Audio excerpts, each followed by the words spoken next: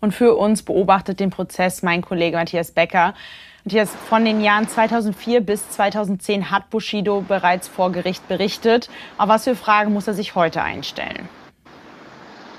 Ja, heute geht es um die ähm, Geschäftsbeziehung zwischen 2007 und 2014. Ähm, da ganz interessant kommt der Generalvollmacht, äh, der Vertrag zwischen Bushido und Arafat, eins die besten Freunde. Ähm, darin heißt es, dass äh, Arafat ähm, die Häuser, Autos hätte kaufen können wie Bushido selbst. Ähm, er hätte bis auf Eheschließung und Testament äh, äh Vollmacht hätte er alles im Namen von Bushido machen dürfen. Darüber wird, Ara, äh, wird Bushido heute aussagen. Und er wird auch nochmal ähm, vielleicht das, das Geld ins in Spiel bringen. Eine Zeugenliste erstellt. Was ist darüber bekannt?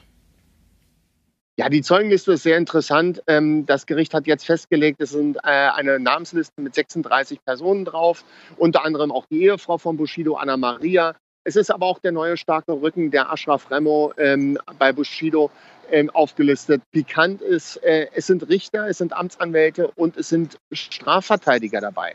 Hochinteressant, der Haus- und Hofanwalt über viele Jahre von Bushido und Arafat, ähm, ein, ähm, ja, der Vorsitzende der Berliner Strafverteidiger, äh, ist auch auf der Liste. Das wird interessant. Und natürlich das Who is Who der Deutschrapper, Kollega, Samra, Farid Beng, Ali Boumaye, alle sind äh, auf der Zeugenliste drauf.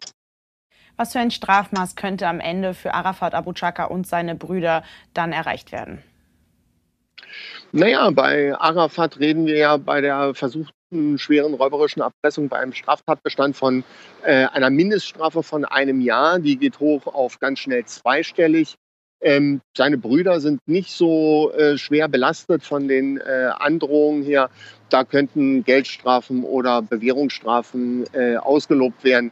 Aber das ist noch lange nicht so weit, äh, das überhaupt abzusehen. Die größte Strafe, die jetzt wirklich droht, ist die Gewinnabschöpfung, sprich, ähm, dass es Gelder sind aus kriminellen Machenschaften dass das der Staat einziehen kann, dass vielleicht die Beweislastumkehr Arafat nachweisen muss, dass ähm, er das ganze Vermögen, den Kaufvertrag der Villa in Kleinmachnow, die ja auch schon auf zweistellige Millionensummen geschätzt wird, ähm, nachweisen muss, dass das Geld zum Kauf dieser Immobilien alle aus legalen ähm, Geschäften stammt.